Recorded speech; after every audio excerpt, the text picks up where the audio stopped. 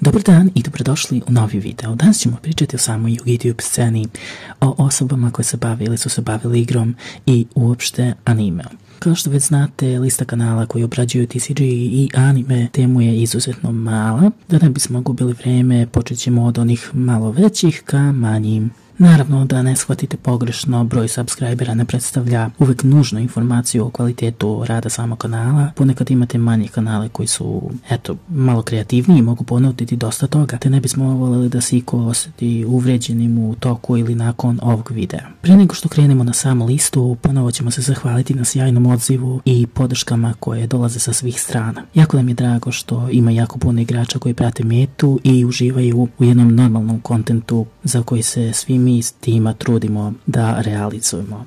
Također ne zaboravite da nas zapratite ukoliko niste, a isto važi i za kanale koje ćemo sada pomenuti na samoj listi ako imaju sadržaj koji je u neku ruku povezan sa Yu-Gi-Oh svetom.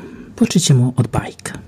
Iako više ne igre Duel Links, Bajko vodi svoj kanal onako kako ume i zna, njegov kontent je u najviše slučajeva vezan za anime i na balkanskoj anime tube sceni predstavlja jedan od trenutno najpričenijih kanala. Naravno godinu dana unazad njegov kontent baš i nije vezan toliko za Yu-Gi-Oh, ali svakako stoji činjenica da Bajko zna dosta toga o TCG igri, jer je i sam e, igrao jedno vrijeme, neke nekada aktualne formate, tako da njegov kanal ima i tekako šta da ponudi.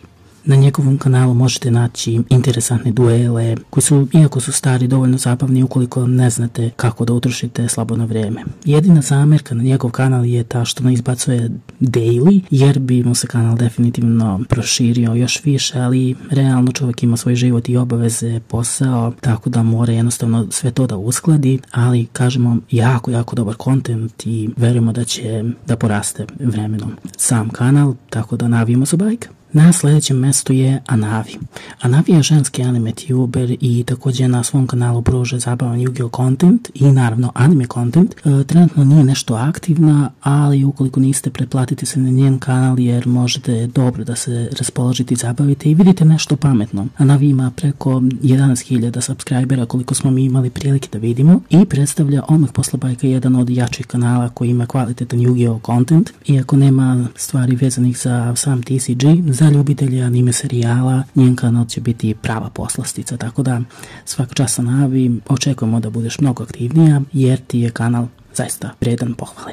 Treće mjesto zauzima Jugoslavija. Jugoslavija nije nov kanal, postoji već duže vrijeme i na ovom malom, ali jako korisnom kanalu možete vidjeti neke duele, outdated pravila igre, činjenice iz anime i video igre iz Yu-Gi-Oh serijala. Kanal ima mešovit sadržaj, ali ne odstupa od e, glavne teme, a to je upravo ova igra. Ukoliko imate vremena, svakako možete pogledati i taj kanal i naravno ne zaboravite da ga zapratite. Sljedeće mjesto rezervisano je za jednog Novajliju na YouTube, ali ne i u samom svijetu igre, a to je Hobby Maniac. Hobby Maniac ime kanala koji prezentuje isključivo otvaranje različitih edicija boostera, dekova i prateće opreme. Iako ne veliki po broju subscribera, ovaj kanal ima sasvim solidan sadržaj za ljubitelja otvaranja samih proizvoda, kanal je na domaćem jeziku, tako da je eto to jedan veliki plus. Sam kanal vodi osoba koja je kolekcionar old school karata, ali ima i nekih novih support singlova. Uglavnom su to neke promo karte i slično. Kao što mu i samo ime kanala glasi, njegov glavni fokus je yu kao hobi. Oči vas sigurno neće zabolati jer se svako otvaranje boostera jasno vidi iz tog razloga ide jedna topa preporuka da bacite oko i na ovaj kanal i ne zaboravite također da se subscribe i na njegov kanal